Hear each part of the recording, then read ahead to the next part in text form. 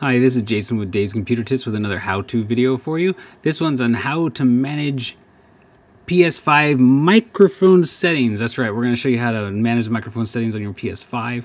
Um, before we get going, hit the like, the subscribe, and the notification bell so you don't miss out any new videos coming out. All right, let's get started on this. This isn't too too difficult, hopefully.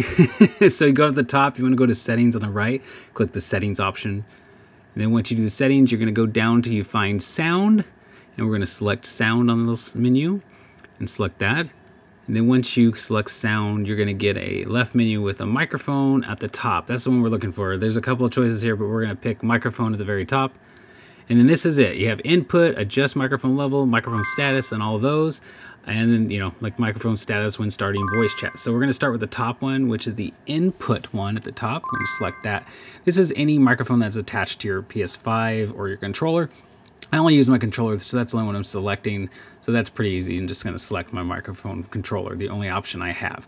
The next one down is adjust microphone level, and that one's pretty simple. This is the input, the speaking to the microphone and adjust the level so that the input um, volume is in good range and that's easy to do you select that at the bottom there and you move the volume up and down as you can see I'm doing and you can see my voice getting louder so you want it to have I usually like in the middle so I'm going to select that that's kind of how I like it the next thing on the list, we'll go back out of here since that one's done now. So we're gonna go here. Now we're gonna go back.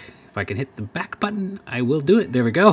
then we're gonna go down to microphone status when logged in. This settings setting might not work for some devices that have mute functions. So they already have mute functions, those won't work. But if you select it, you have an on and you have a mute. I like to leave mine on. I don't need mine to be muted when I first start my mic. So when I log in, so I like to have it on on.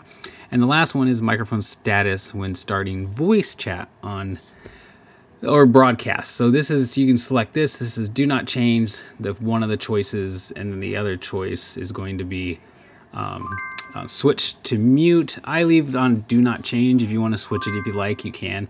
But that's how you do it on the PS5. Very easy to adjust the microphone sound settings. Make sure to hit the like and the subscribe on the video. I want to make sure you don't miss out on any new things. So guys, thanks for watching. Make sure to check out davescomputertips.com uh, where all, all our articles are and make sure to subscribe to this channel. And thanks for watching.